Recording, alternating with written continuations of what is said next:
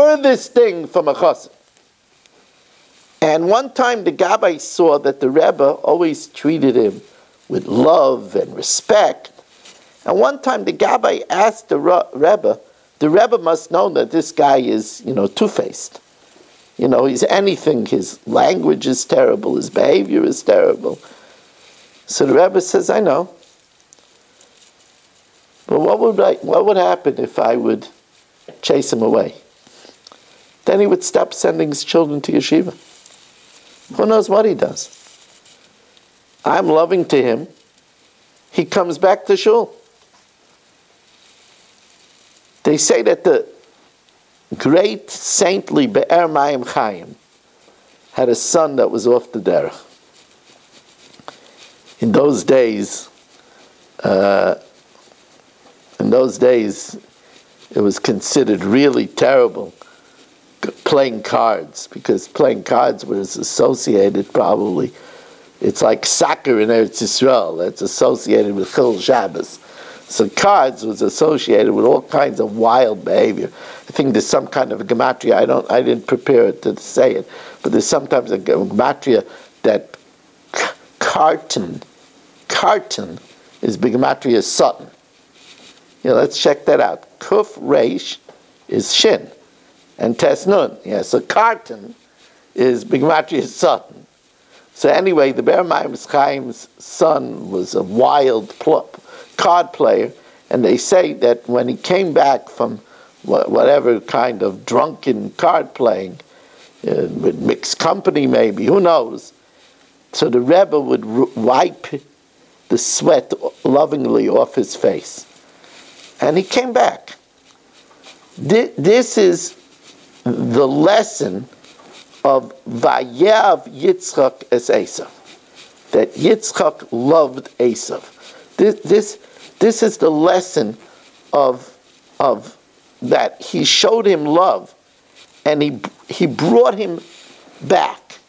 Now, you have to know that this is counterintuitive because a person that steps and spits on all what we cherish and brings shame to the family and is a bad influence to the rest of the children, uh, we, don't, we don't feel very loving.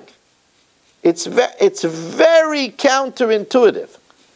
Uh, a child that comes in with tattoos and a girl with hot pants and, and, and, and hangs around in, in uh, McDonald's and is uh, on, on a cell phone on Shabbos, we feel anything but love.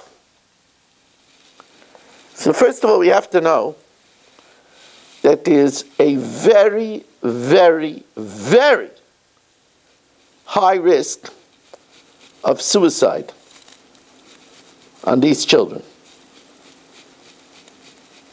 A lot of times it comes from trauma of one kind or another. And we're talking about matters of life and death, so much so that the Belzer community, under the direction of the Belzer Rebbe in Eretz Yisrael, started a group called Avos Kaidman. There, there, should be a place for these children to go in the Hasidic circle without trying to be of them back. We also have to know that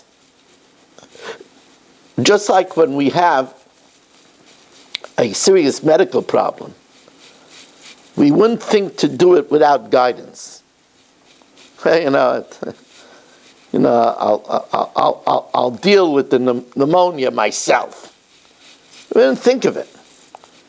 This is a very serious mental health problem many times, most times. And therefore, we have organizations in, in when it's the most severe and there's possibility, even a remote possibility of suicide. We have, you know, Avi Fishoff and his twisted parenting, who really gets it.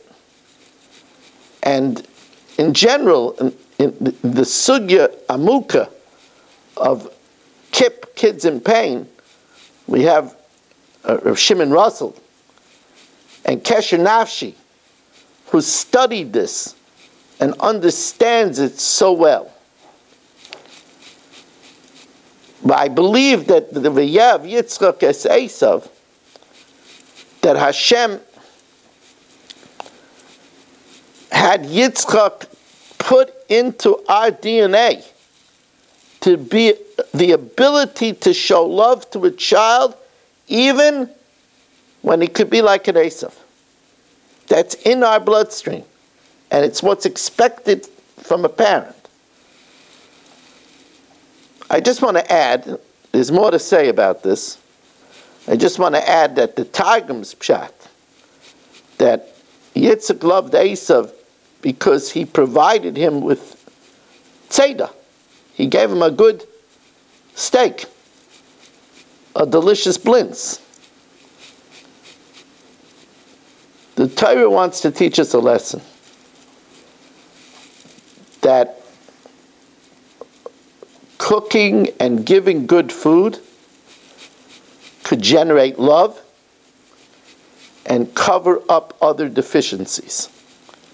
That's why it's so important for parents to make sure that their daughters learn how to cook. They learn how to bake. Because it's a tremendous tool, a road to a man's heart is through his stomach. And it's a tremendous tool in generating ahava. I want to thank our sponsors, Ezra and Lisa Batesh, on the 20th yahrzeit of Rivka Bas Enna, on the Shama should have an Aliyah, Beirut Goldwasser, L'ilui Nishmas, his wife's grandmother, Malka Bas Yisrael, to sponsor this year, 718-916-3100, rmmweiss at AOL.com, to join our Daf Yomi nightly. It's at 8 o'clock, 8 p.m. at zoomdaf.com. Join our uh, international Zoom Daf Yomi. And uh, on Motzei Shabbos now, it's at 7.45, this Motzei Shabbos. You can also find many of my shiurim from years before, besides, of course, on Torah Anytime, on YouTube. If you check it out, remember to subscribe and press like. Uh, thank you for joining us. Have a good Shabbos and a good night.